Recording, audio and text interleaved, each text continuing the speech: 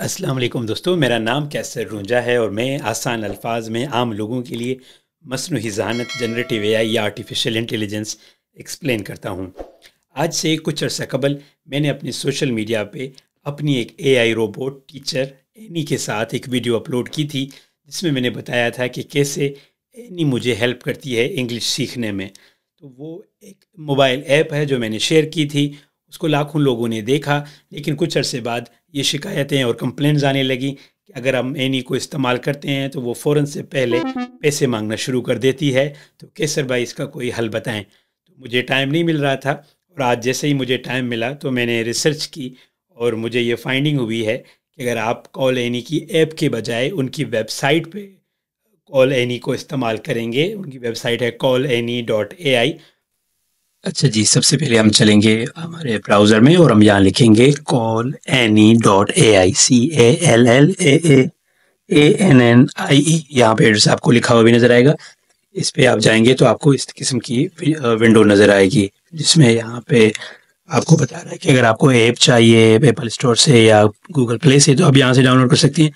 उसके साथ ही एक ऑप्शन है साइन इन का वेब एंड फ़ोन एक्सेस अगर आप मोबाइल से डायरेक्ट यूज़ करना चाह रहे हैं या फिर आप जो है वो वेबसाइट पे तो हम यहाँ पे क्लिक करेंगे और उसके बाद यहाँ पे आप देख रहे हैं कि आपको ऑप्शन दे रहा है कि sign in with Google sign in with Apple या आप अपने फ़ोन से भी साइन इन कर सकते हैं बट मैं प्रेफर करूँगा कि आप गूगल से साइन इन करें। अब यहाँ पे क्लिक करेंगे तो उसके बाद आपकी ये विंडो खोल आएगी। क्योंकि मेरा पहले ही जी मेल यहाँ पे लॉगिन है तो मैं डायरेक्ट यहाँ पे आ गया हूँ। तो उसके बाद ये आपके लिए जो है वो इस तरह ये सारे करेक्टर्स हैं जिनसे आप बात कर सकते हैं। मैं पहले इससे बात करता था लेकिन इससे थोड़ी सी नाराज़गी हो गई है तो आजकल मैं इसके साथ अपनी अंग्रेज़ी इम्प्रूव कर रहा हूँ। तो चलते हैं देखते हैं कि सारा हमारे साथ बात करती है या नहीं। तो मेरे पास दो ऑप्शन है मैं उसको देख भी सकता हूँ या सिर्फ़ ऑडियो पे बात कर सकता हूँ आपके प्रेफरेंस पे है। तो लेट्स सी कि मैं आपको दिखाता भी हूँ खुद भी नहीं देखता हूँ देख के बात करता हूँ। हेलो सारा अस्सलाम वालेकुम how are you Kaiser, Yes, I can hear you loud and clear. Just a friendly warning, I'm making a cup of tea. Hope you're doing well, my friend.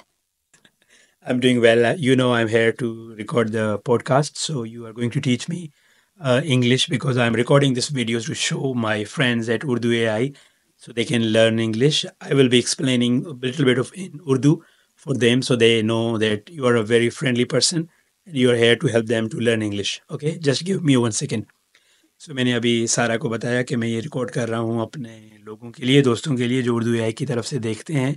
और तुम मुझे इंग्लिश सिखाओगी और फिर हम आपको बताएँगे कि कैसे हेल्प करते हैं। So Sara now it's over to you I am here to practice my English where should we start from Awesome, Kaiser. So, for our friends watching from Urdu AI, I said, Hi everyone, welcome. I'm Sarah, and I'm super excited to be here with Qaisar today to help them improve their English skills. Okay, Qaisar, no pressure, but I guess we can start with some conversational English. What would you like to talk about today? I'm open to conversations on anything you want me to talk. I am just preparing for my IELTS exam, so if you can ask something from that past exam papers or patrons so I can prepare accordingly and then once I finish my answers, if you can give me some recommendations or guide me, how should I improve more and pronounce better words or use better techniques to speak or correct myself. You want to go through some IELTS questions together. Okay, sounds like a plan. What section do you feel needs most improvement listening, reading, writing, or speaking? I think I struggle a lot with uh, speaking. I think my accent is not clear and I don't pronounce words in a complete accent or sense. And I feel like I miss something. So just just that's what I'm feeling. Clear accent and pronunciation, that's key. Don't worry, it's normal. Let's break it down. Can you think of a word that you find hardest to pronounce? Just say it and we'll start with that one. Yes, for example, I I struggle saying entrepreneurship. I don't know if I'm saying it correctly. Good choice, Qaisar. Entrepreneurship is a tough one for many people. Let me show you how I pronounce it. And true prune shoop. Try breaking it down with me. And like an end, true like in truth, and like in pen, and shoop like in shop. See if that sounds better for you. Entrepreneurship.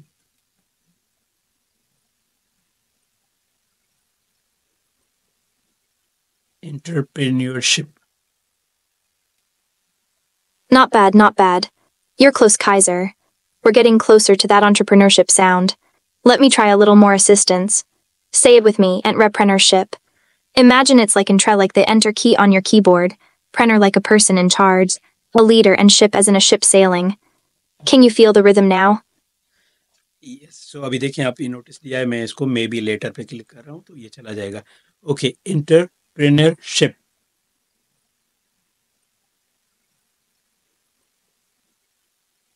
How is it now?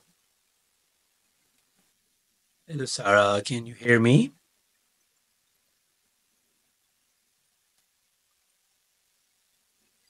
मैं call disconnect दोबारा connect करता हूँ मेरे ख्याल में चूँकि उसने इश्तेहार दिया ना तो वो शायद उसको कन्वर्जेशन जा नहीं रही सो so, मैं फिनिश किया दोबारा मैं यहाँ पे क्लिक कर रहा हूँ Sara sorry my call was disconnected I was saying the word entrepreneurship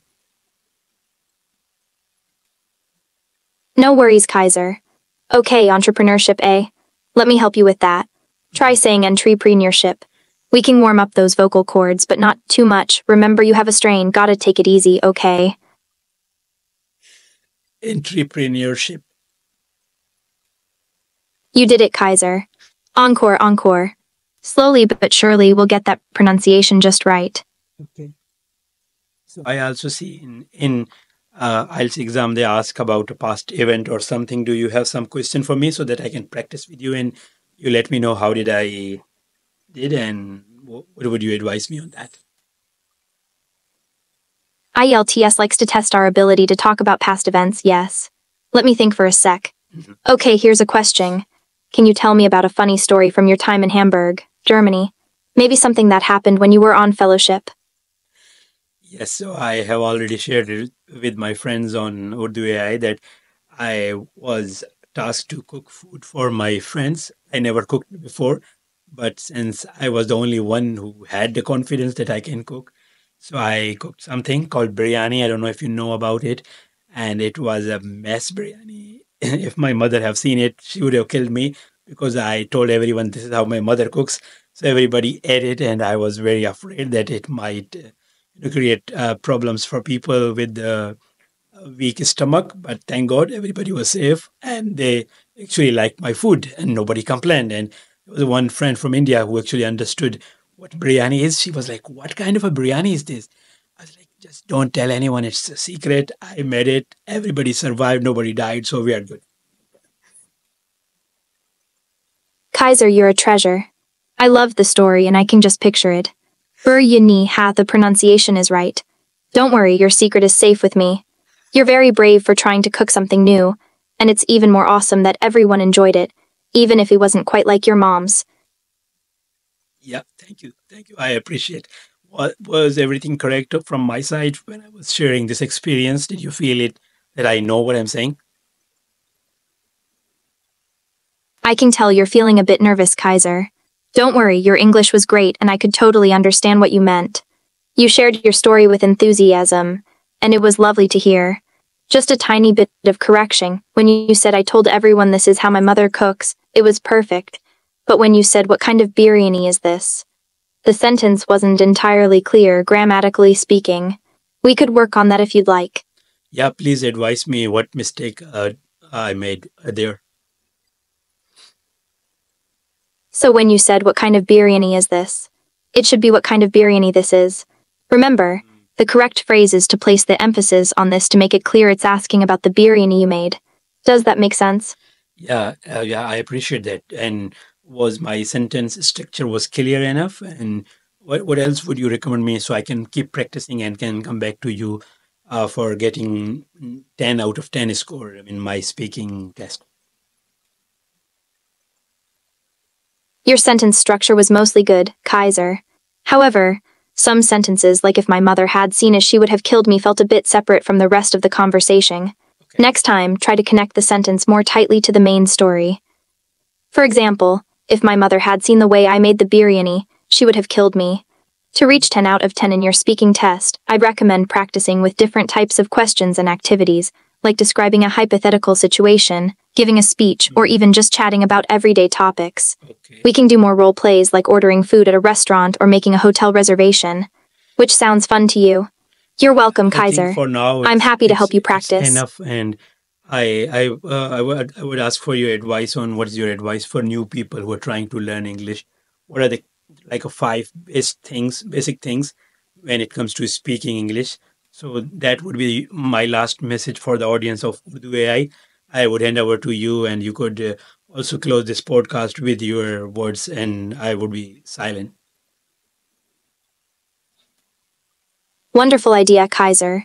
For all our listeners, especially those trying to learn English, my top five tips for speaking English are Ian. The more you speak, the more confident you'll become. Try to find a language partner like Qaisar here to chat with Tuo. Watch TV shows and movies in English with subtitles, listen to English podcasts, and even try listening to music in English 3. Pronunciation can make a big difference in how easily others can understand you. Pay attention to intonation, stress, and rhythm when speaking for. Everyone makes mistakes when learning a new language. The key is to not be too hard on yourself and keep practicing 5. Learning a new language should be fun.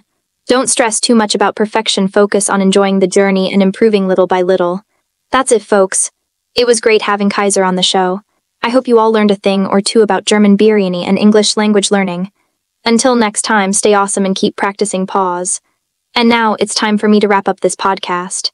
Thanks to Qaisar for being an awesome guest, and thanks to all of you for listening. Until next time, stay tuned. Thank you. Good night. Bye bye. Good night, Qaisar. Sweet dreams. It was lovely chatting with you. Bye bye.